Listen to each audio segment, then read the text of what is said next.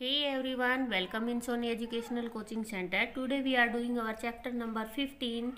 Father of Indian Nuclear Program. Nuclear program के पिता के रूप में किसको जाना जाता है डॉक्टर होमी जहांगीर भाभा किसको जाना जाता है डॉक्टर होमी जहांगीर भाभा को जाना जाता है doctor Homi Jehangir Bhabha was a great visionary and scientist वो क्या थे एक दूरदर्शी और वैज्ञानिक थे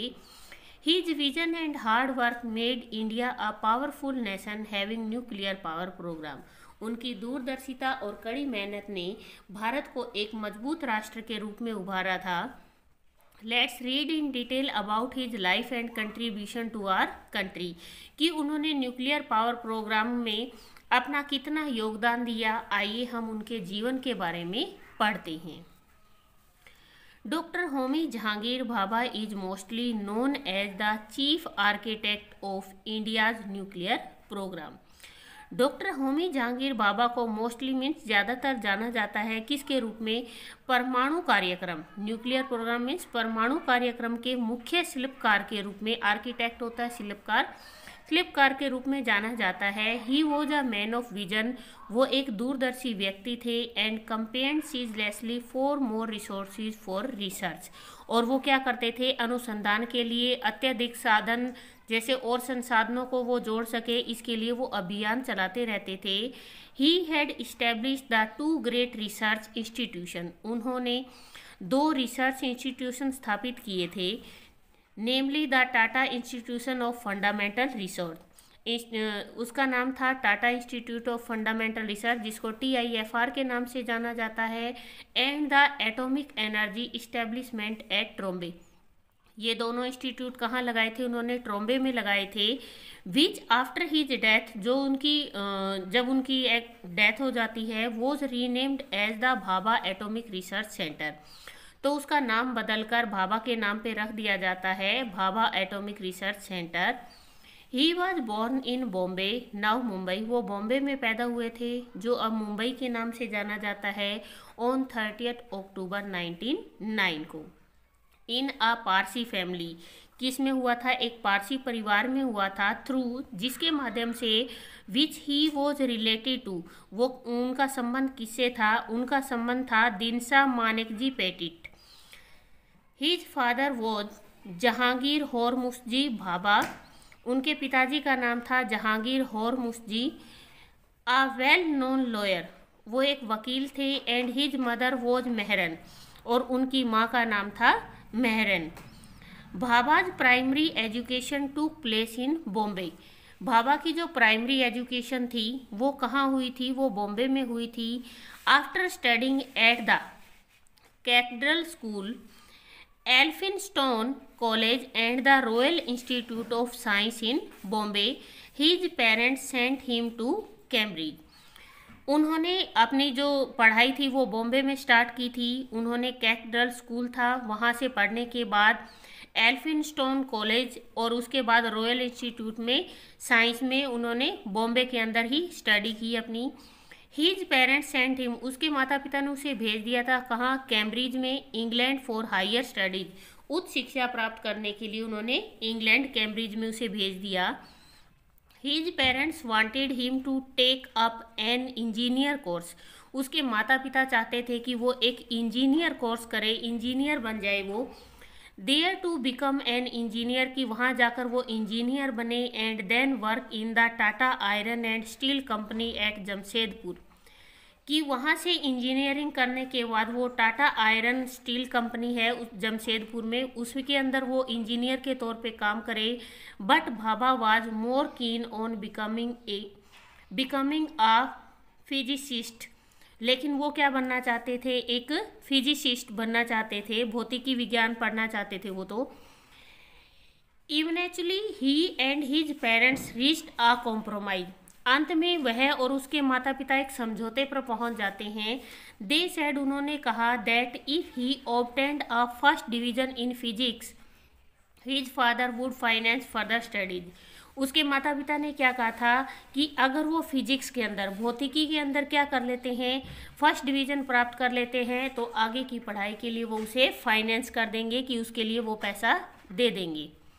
doctor Bhabha obtained a first division and began to work in theoretical physics अब डॉक्टर भाभा ने क्या किया फर्स्ट डिवीजन प्राप्त की और थियोरेटिकल फिजिक्स के रूप में उन्होंने काम मीन्स उसको बोलते हैं सैद्धांतिक भौतिकी के रूप में काम करना शुरू कर दिया he was a hard working and brilliant student वो बहुत ज़्यादा कड़ी मेहनत करने वाले और ब्रिलियंट स्टूडेंट थे and received the prestigious Newton scholarship और उन्हें क्या मिल गई थी एक छात्रवृत्ति मिल गई थी प्रतिष्ठित न्यूटन छात्रवृत्ति जिसको जाना जाता है he got his PhD degree from Cambridge University and join the faculty as a professor there उन्होंने कैम्ब्रिज यूनिवर्सिटी से ही अपनी पीएचडी की पढ़ाई को पूरा किया और वहाँ पर प्रोफेसर के रूप में उन्होंने काम करना शुरू कर दिया he was a very good artist वो एक बहुत अच्छे कलाकार थे एंड अ म्यूजिक लवर और उनको म्यूजिक भी बहुत पसंद था he conducted an orchestra also when he was in Britain वो एक ऑर्केस्ट्रा भी चलाते थे जब वो ब्रिटेन में थे he was a true lover of trees वो पेड़ों के भी बहुत सच्चे प्रेमी थे and did everything under his power to protect them और वो जिन जितना उनसे बन सकता था उनकी प्रोटेक्शन के लिए वो अपनी पावर का यूज़ करते थे when doctor Bhabha was in India जब डॉक्टर भाभा इंडिया में थे ऑन आ हॉलीडे वो छुट्टियों में यहाँ पर आए हुए थे world war second broke out तो उस टाइम में क्या हो जाता है द्वितीय विश्व युद्ध शुरू हो जाता है as he could not return to Cambridge और वो वापस कैम्ब्रिज नहीं जा पाते हैं he accepted the post of reader in theoretical physics at the Indian Institute of Science in Bengaluru और वो क्या कर लेते हैं बेंगलोर के अंदर भारतीय विज्ञान संस्थान में सैद्धांतिक भौतिकी के पाठक के रूप में वो यहाँ पर रहने लग जाते हैं मीन्स वहाँ काम करना शुरू कर देते हैं द नेक्स्ट फाइव ईयर अगले पाँच सालों तक forty to five were very fruitful for doctor Homi Bhabha और 1940 से लेके 1945 तक का जो टाइम था उनके लिए बहुत ही फ्रूटफुल मीन्स बहुत ज़्यादा फलदायी था he was elected fellow of the Royal Society वो रेल इलेक्टेड मैन होता है चुना जाना वो चुने गए थे किसके अंदर रॉयल सोसाइटी के अंदर लंदन में इन 1941 में he was only 31 year old वो केवल इकतीस साल के थे the youngest fellow so far elected जो अपनी युवावस्था में इलेक्टेड हुए थे मीन्स वहाँ पर चुने गए थे in 1944 when he wrote to sir Sorab Saklatvala उन्होंने 1944 में जब सौरभ सर सौरभ सकलतवाला को एक लेटर लिखा था chairman of the sir Dora Dorabji Tata Trust that was the first step which doctor Bhabha took in the establishment of the Tata Institute of Fundamental Research and the Atomic Energy Commission उन्होंने क्या किया था उन्होंने आ, sir Saurabh Saklatwala को एक पत्र लिखा जो चेयरमैन थे किसके सर दोराबजी टाटा ट्रस्ट की उन्होंने पहला अपना कदम उठाया था वो क्या स्थापित करना चाहते थे Tata Institute of Fundamental Research और एटॉमिक एनर्जी कमीशन स्थापित करना चाहते थे ही रिक्वेस्टेड उन्होंने रिक्वेस्ट की प्रार्थना की that a school of research in theoretical and experimental physics be founded in India with special reference to cosmic rays and nuclear physics उन्होंने अनुरोध किया था कि जो कॉस्मेसिक किरणें होती हैं और परमाणु भौतिकी के विशेष संदर्भ में सैद्धांतिक और प्रायोगिक भौतिकी में अनुसंधान के एक स्कूल की स्थापना कहाँ की जाए इंडिया के अंदर भी की जाए in 1948 the Atomic Energy Commission was founded and doctor Homi Bhabha was appointed as the chairman of the commission 1948 में परमाणु ऊर्जा आयोग की स्थापना की जाती है जिसमें डॉक्टर होमी जहांगीर भाभा को क्या बनाया जाता है चेयरमैन बनाया जाता है उनका इन 1952 उन्नीस में the Tata Institute of Fundamental Research was inaugurated inaugurated होता है उसका उद्घाटन करना उन्नीस के अंदर क्या हुआ था टाटा इंस्टीट्यूट फंडामेंटल रिसर्च का उद्घाटन हुआ था in 1954 doctor Bhabha's got Padma Bhushan उन्नीस में डॉक्टर भाबा को पद्म भूषण मिला the Atomic Energy Centre was set up at Trombay atomic energy centre स्थापित किया गया ट्रोम्बे में and on fourth August 1956, the first Indian built reactor Apsara become critical कि उन्होंने 4 अगस्त 1956 को पहला भारतीय निर्मित रिएक्टर अप्सरा बनाया था जो क्या हो गया था बहुत ज़्यादा क्रिटिकल हो गया था the Tarapur nuclear power plant was set up in 1963 with his effort उनके एफर्ट के कारण उन्नीस में तारापुर न्यूक्लियर पावर प्लांट स्थापित किया गया था he was a firm believer that the progress and advancement of a country with big industries and progress in the field of science and technology will need more power उनका ये दृढ़ विश्वास था कि जो बड़े उद्योगों वाले देश की जो प्रगति होती है और जो उन्नति होती है और प्रौद्योगिकी क्षेत्र में प्रगति के लिए अधिक आवश्यकता की जरूरत होती है किसकी पावर की अधिक पावर की आवश्यकता की जरूरत होती है कीपिंग दिस इन माइंड इस चीज़ को वो अपने हमेशा माइंड में रखते थे the progress of establishing many nuclear power plant began और अब उन्होंने धीरे धीरे करके बहुत सारे न्यूक्लियर पावर प्लांट को लगाना शुरू कर दिया स्थापित करना शुरू कर दिया इन राजस्थान राजस्थान में Rana Pratap Sagar and in south Kalpakkam nuclear power plant were establish उन्होंने राजस्थान में भी और साउथ में भी दो पावर प्लांट स्थापित किए लेटर ऑन इसके बाद in Uttar Pradesh Narora nuclear power plant was establish और उन्होंने Dr. Baba's vision and hard work brought India at par with other countries of the world having nuclear power programs. Doctor Bhabha की दूरदर्शिता और कड़ी मेहनत के कारण ही भारत को उन्होंने दूसरे देशों के बराबर लाकर खड़ा कर दिया किसमें न्यूक्लियर पावर प्रोग्राम जितने भी वहाँ पे परमाणु ऊर्जा कार्यक्रम होते थे उन देशों के बराबर लाकर उन्होंने इंडिया को खड़ा कर दिया ऑन ट्वेंटी जनवरी 1966 24 जनवरी 1966 को when he was going to Vienna to attend a meaning वो एक मीटिंग को अटेंड करने के लिए वियना जा रहे थे of the International Atomic Energy Agency जो मीटिंग किसके ऊपर थी अंतर्राष्ट्रीय परमाणु ऊर्जा एजेंसी पे जो मीटिंग हो रही थी उसको अटेंड करने के लिए वियना जा रहे थे he died in an air crash over Mount Blanc और वहाँ पे क्या होता है माउंट ब्लॉक के अंदर एक हवाई जहाज दुर्घटना में एयर क्रैश मीन्स हवाई जहाज दुर्घटना हो जाती है और वो एक्सपायर हो जाते हैं the entire nation was torn at the sudden and premature loss of this great visionary और पूरा भारत क्या हो जाता है बहुत ही ज़्यादा स्तब हैरान हो जाता है कि इतने महान दूरदर्शी इंसान की अचानक से मृत्यु हो जाती है as a tribute to this great scientist इस महान वैज्ञानिक को ट्रीब्यूट करने के लिए मीन्स इसको श्रद्धांजलि के रूप में the Atomic Energy Establishment at Trombay was renamed और इसी के कारण जो एटॉमिक एनर्जी इस्टेब्लिशमेंट थी ट्रॉम्बे में उसका नाम बदल दिया जाता है दोबारा नाम रखा जाता है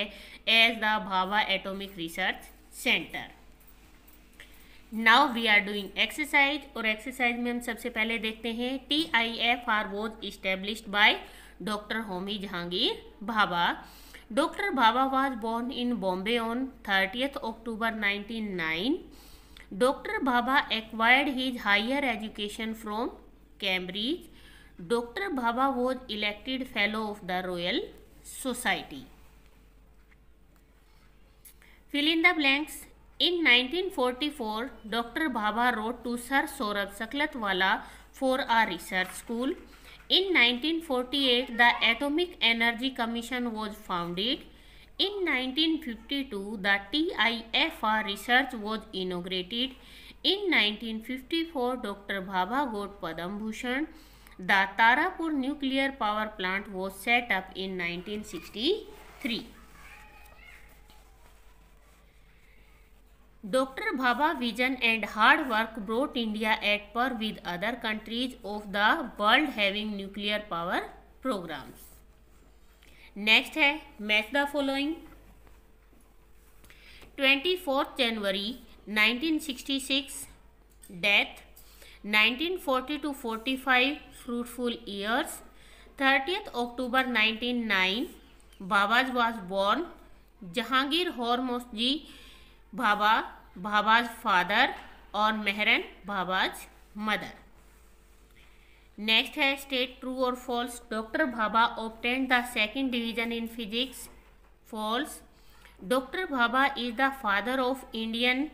nuclear programme true doctor Bhabha got Padma Bhushan in 1948 false doctor Bhabha acquired his primary education in Bombay true Dr. Bhabha accepted a post of reader in the Nuclear Institute of Science. True. Answer the following questions. When and where was Dr. Bhabha born?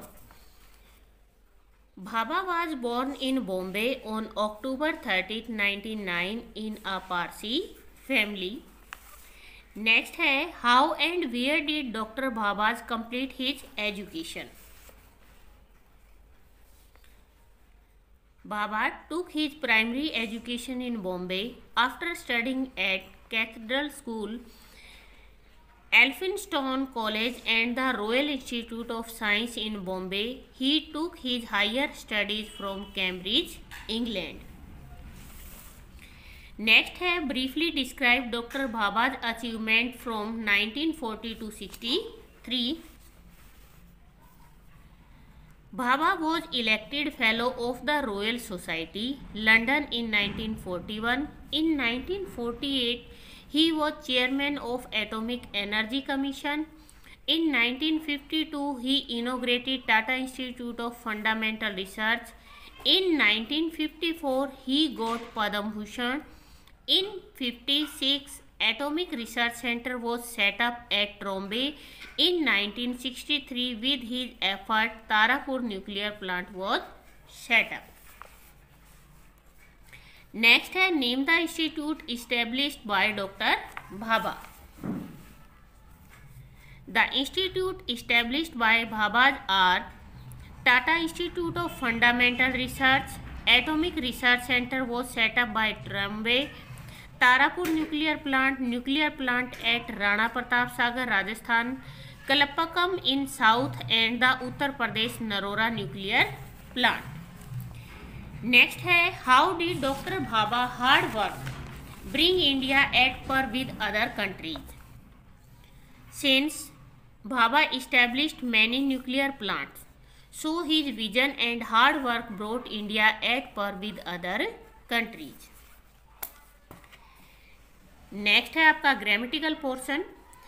here is a list of some word related to various branches of education यहाँ पे education की अलग अलग branch दी गई है कि science में कौन सी ब्रांच आती है आर्ट में कौन सी आती है और हिस्ट्री में जैसे यहाँ पे मास्टरपीस है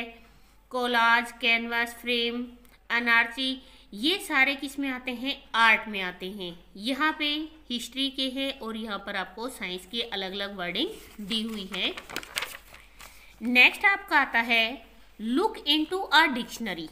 and find out the meaning of the following word physicist क्या होता है the scientific study for such as light sound and heat next है campaign to take a part in a plant series of activities in order to make something happen next है atomic energy the energy that is produced when an atom is split next है nuclear power electric or motive power generated by a nuclear reactor next आपका आता है phrase phrase क्या होते हैं phrase आपका होता है अ ग्रुप ऑफ वर्ड शब्दों का एक ऐसा समूह जिसके अंदर आपको मीनिंग तो मिलेगा बट वो आपको कंप्लीट मीनिंग नहीं देगा जैसे यहाँ पे आपको एग्जांपल दिया गया है इन द कार अब इन द कार कार में क्या चीज़ है कार में ऑन दिस टेबल इस मेज पर क्या चीज़ है इस मेज पर यहाँ हमें ये तो पता लग रहा है कि इस मेज पर बट हमें ये पता नहीं लग रहा है कि वो इस मेज पर क्या है तो इसी तरीके से आपको यहाँ पर pick out the phrase in the given sentence यहाँ पे आपको फ्रेज दिए गए हैं और जिनको आपको अलग करना है बताना है कि कौन सा है फ्रेज फर्स्ट में है in the park in the cradle in the meeting across the meadow at parking और ऑन द रोड इसके बाद आता है नाउन फ्रेज नाउन फ्रेज क्या होता है नाउन फ्रेज होता है a phrase group of word that work as a noun जो नाउन के तौर पे काम करता है यहाँ पे हमें पहला दे रखा है सी ट्राई टू वो कोशिश कर रही है कि सीज की come first in class the prime minister is idealistic personality to pass an I A S exam is not an easy task watching movie makes me sleepy my mother saw a snake do you want a piece of apple next आता है आपका adjective और adjective आपको बहुत अच्छे से पता है क्या होते हैं जो नाउन और प्रोनाउन की विशेषता हमें शो करते हैं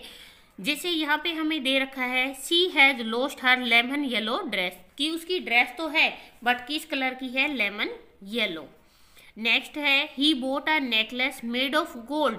उसने नेकलेस तो खरीदा पर कैसा था made of gold he drew the flag of India उसने क्या किया लहराया किसको the flag of India a bird in hand is worth two in the bush यहाँ पे जो आपका एडजेक्टिव फ्रेज है वो है worth two in the bush you are a man of great promise और यहाँ पे क्या है अ मैन ऑफ ग्रेट कि इंसान तो है पर कैसा ग्रेट प्रोमिस इसके बाद आता है listen to the paragraph and answer the following question who was Thomas Alva Edison an American inventor and businessman वो क्या थे अमेरिकन इन्वेंटर थे मतलब खोज करने वाले थे और एक बिजनेसमैन भी थे when was Thomas Alva Edison born February eleven eighteen forty seven in which field did he invent device electric power generation mass communication and sound recorder to which nation did thomas belong to mujiris on the kerala coast इसके बाद आता है आपका writing skill यहाँ पे आपको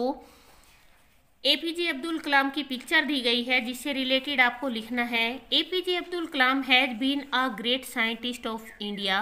He has also served as the 11th Indian president. He thus come to know as the missile man of India for his work on the development of ballistic missile and launch vehicle technology. इसके बाद आता है आपकी activity activity में आपको यहाँ पे ये बताना है कि ये जो चीज़ें हैं इनके इन्वेंटर कौन है ये है आपका कंप्यूटर कंप्यूटर बनाया था चार्ल्स बेवेज ने इसके बाद लैपटॉप लैपटॉप बनाया था आपका बिल मोजरिज इसके बाद मोबाइल मार्टिन और कूपर और ये आपका है थॉमस एडिशन एल्वा का बनाया हुआ ये है आपका चैप्टर